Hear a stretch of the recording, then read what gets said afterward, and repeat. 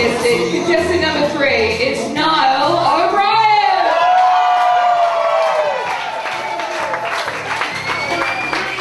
And let me tell you a little bit about Niall.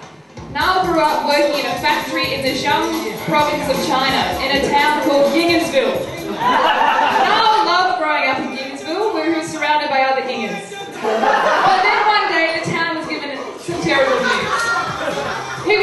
By his leader, Ging Shen Swan, that he must leave the village and the Great Wall of Gingers, where he used to hang with his buddies Screw and Hammer, to protect over the Gingers of Australia.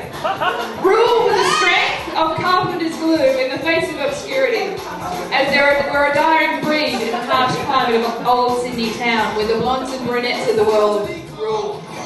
It was here where he learnt the art of bullshitting and bedazzling the lesser brains and took the title of insert the comment here. Now he resides in account management.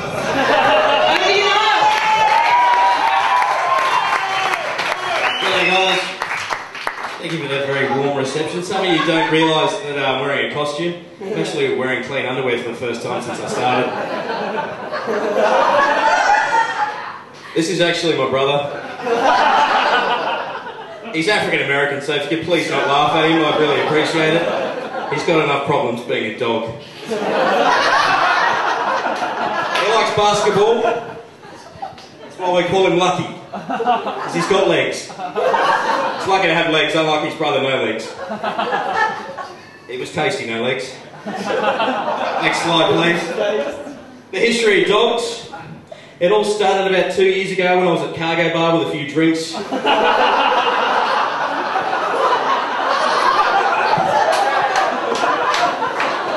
Some of you might have met her before.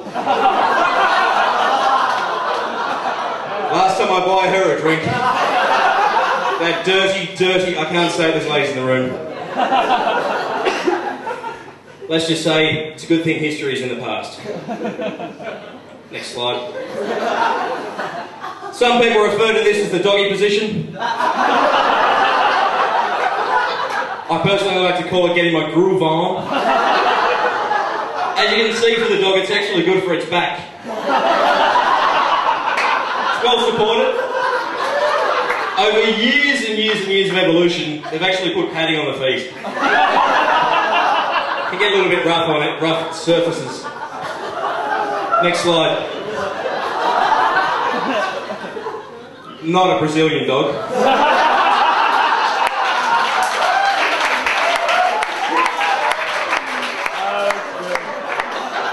If you don't wax regularly, some symptoms or characteristics as shown here, you'll lose your hearing, sight, well the smell, let's be honest, It will not be pungent.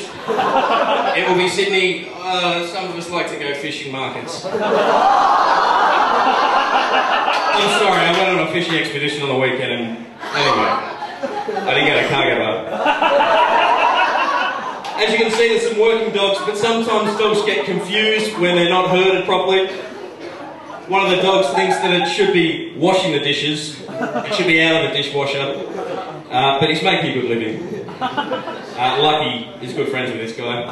As you can see, we have some sexually confused dogs. He's a tran dog, doesn't know which one he is. Found him outside.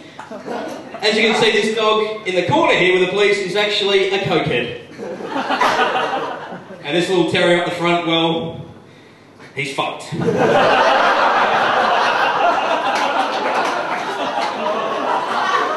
As you can see, this dog over here gave me herpes. This dog over here is quite nice. That dog over there bench press more than I can. And that dog, well, it's just a pussy. This dog, unfortunately, has been walking around King's Cross for too long. Very successful dog in helping veterinarians discover that there is truly light at the end of the tunnel. Some symptoms of finding light at the end of the tunnel could be a disease, parasites, physical disorders, or poisons. This one's just happy he's still alive. I took him home. Watch him eat. Some crossbreeds, it happens. Some of us aren't proud of it. Some owners decide that it's funny to give their dogs alcohol or drugs, and then watch them mate with other people. I just think it's funnier to go to certain nightclubs. That's my ex. And the duck, well, if you can't fly, you're fucked. That's something you gotta remember in life. If you can't get away from a situation quick enough, you're fucked. As you can see, what, he's having a drink, he's having a laugh, and this guy's just seriously confused. He's clearly trying to communicate to his owner by dog speech, this guy's fucked. Clearly. But seriously, don't play with guns unless you've got a really cool hat. Well, they're all boys, and it's doggy prison. Some of you call it pound, I call this animal cruelty. But they learn great things in pounds. Basic obedience, they learn to sit down, heel, learn to say no, which is a very, very important thing when you're in this position, because no means no. Some of them have behavioural problems, some of them can't speak properly. Uh, barking, digging, house soiling. Love a good bit of soil in the house.